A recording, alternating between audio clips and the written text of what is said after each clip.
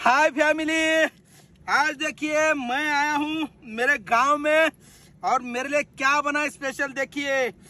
देसी चिकन और ये है भाकरी। बाजरे का।